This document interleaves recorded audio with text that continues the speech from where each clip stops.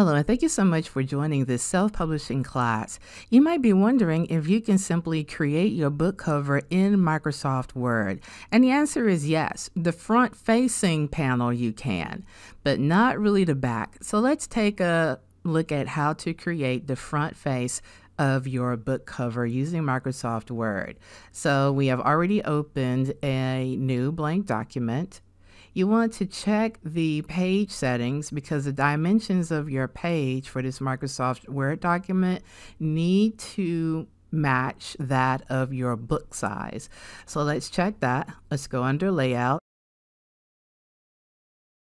margins, custom margins, go under paper, Mine is already set to 6 by 9 and because my book size is 6 by 9. If you need to select your size right here under paper size, click that down arrow. If you don't see options for your page size, click custom size and type in the dimensions.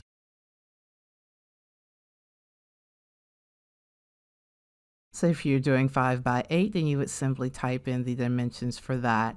But let's go back to 6 by 9 and click OK. Now you have a 6 by 9 page to work with. Let's go ahead and put some design elements on our page. Click Insert, Shapes. I'm using a rectangle shape, so I'm clicking it draw the rectangle.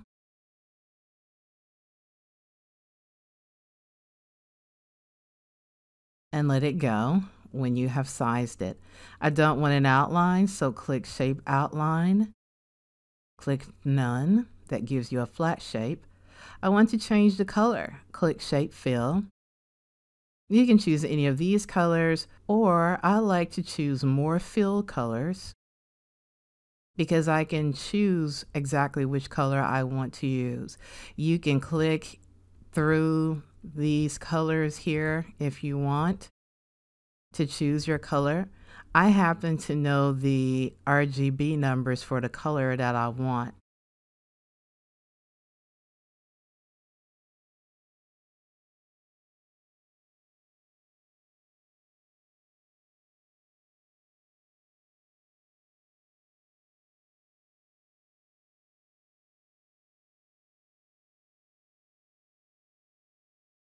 Once you get the colors in there and you can see under new what it's going to look like, click OK. If you wanted to make it dark or lighter, you could have done that there as well, but I'm satisfied with this. So this is going to be the panel where I put my book title. This is going to be the panel where I put my book title. Let's go ahead and get a photo in here. Click Insert, Pictures, this device, and I'm choosing this photo. Click Insert. Now you'll need to size this so that it fits the size of the page. If you try to move it, it seems to be locked and you're not able to move it. Double click it, click Position, choose a position. I'm choosing Middle Center. And this will allow you to move it wherever you need to move it hold down the shift key and drag it until this image meets the other side of the page. It looks like I might need to make this a little smaller in order to make it work and to give my photo more space. Hold down the shift key and drag the image downward. It's a little too big, but that's okay. So let's go ahead and it fills the page just fine. We just don't need that second page, right? So it made a second page because it was like, hey, you're getting too close to the edge of this page, which is okay, right? Because what we can do now is to click insert again, shape, rectangle, and you're going to add a space where you put your name, where you put the author's name. So same technique as before when we made the top rectangle.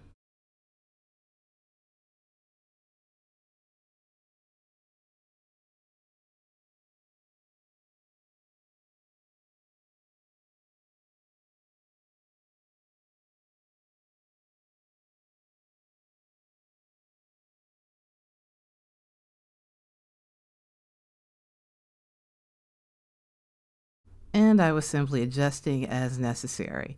So now let's go ahead and type in the title of the book.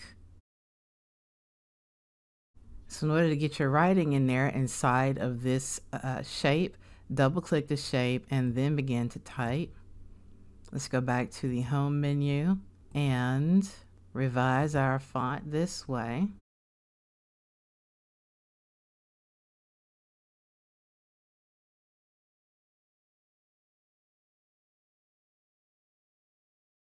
That's getting a little big. If you don't see the font size you want, you can just go ahead and highlight it and click in what you want. I'm putting in 60 points and hitting enter.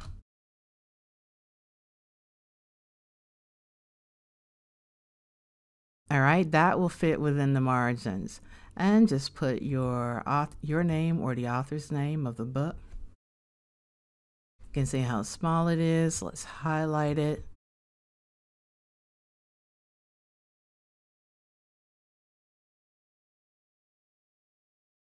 I want to choose another font that looks good with the top font that I use. So I'm just choosing Arial. I'm going to make that bold.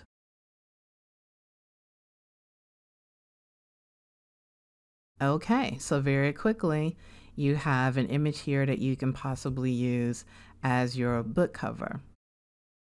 Now we're good to go. Let's save it.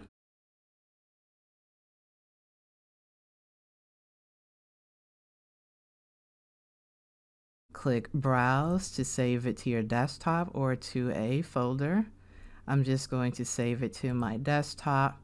It's already called MS Test. I'm going to add another character. So we have saved our Microsoft Word document. Now you need to convert it to Adobe Acrobat. Under Preferences, Make sure conversion settings says high quality print. You can click the down arrow for all of these options, but make sure it says high quality print. Click OK and click Create PDF.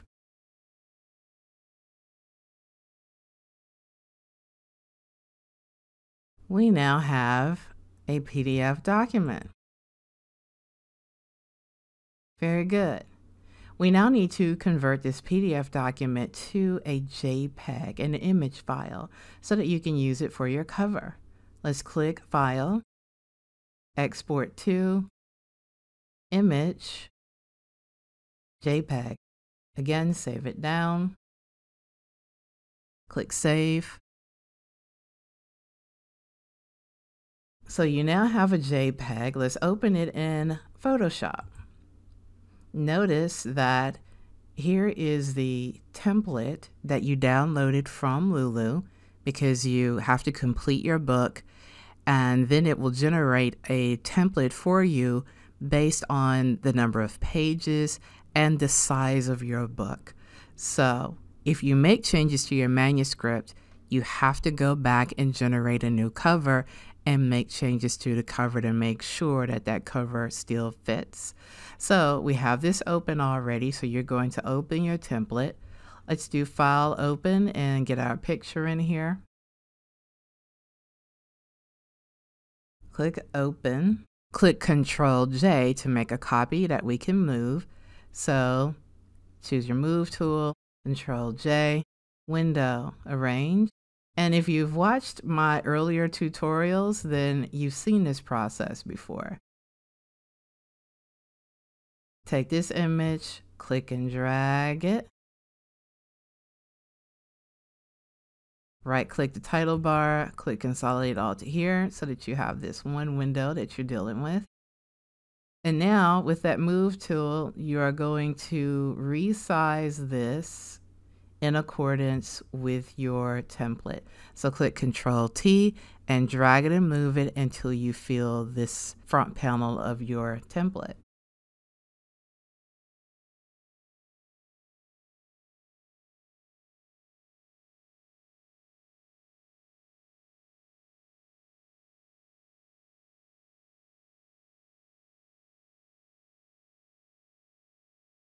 Hit enter and you've sized it. You cannot create a spine in Microsoft Word. You have to do that here. I do not suggest that you try to make your back cover in Microsoft Word because you have to create it within the confines of this white area. Anything here in the blue will get cut off. So you have to make sure that your back cover elements are right there. But let's click layers. You still need a back cover, a color for that back cover. So we're going to use rectangle again. Basically, we need to cover this area that says uh, with the template information on there because you do not want that to print.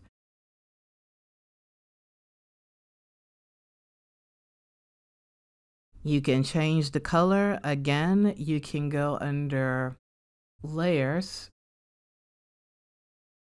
click the layer with the rectangle, double click it, and the color picker dialog box will open. You can change it to any color. I kind of like that, so I'm going to keep it. Click OK. Get that completely covering the template. Click Control T make that invisible for a second, and you're going to use guides so that you'll know where to put the information.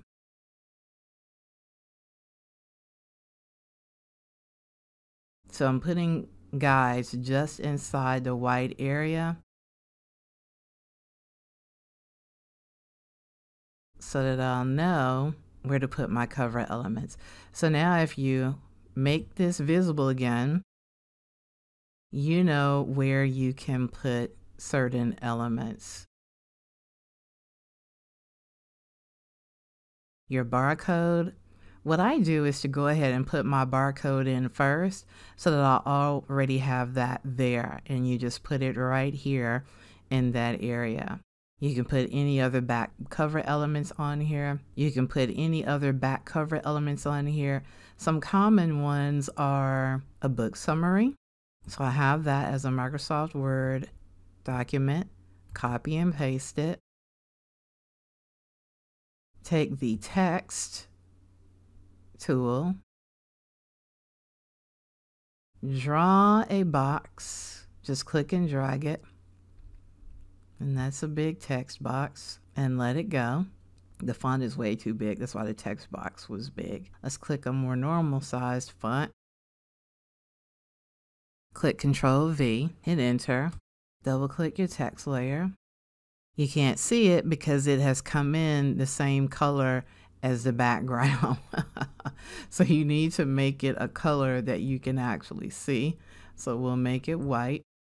What the new version of Microsoft, the new version of Adobe Photoshop does is that it automatically puts in that placement text. So you have to take it out.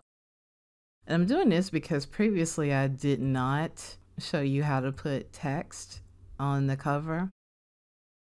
So now you can see that it can take you a little bit to get all these elements together double click it because we need to size it within those bounding boxes. I want it left, not centered.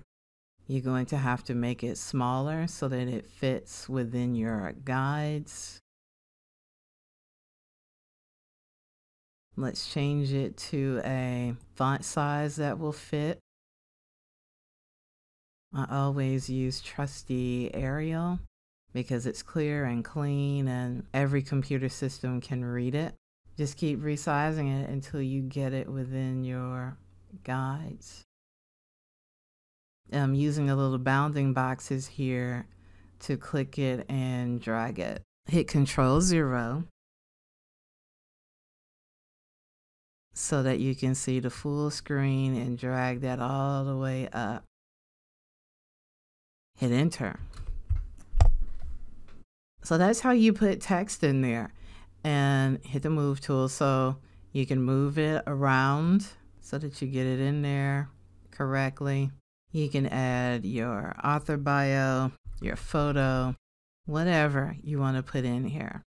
Okay, so this is how you can start in Microsoft Word and create a cover that you can use for your book. Okay, hopefully this tutorial has been really helpful to you. Thank you so much for watching and happy publishing.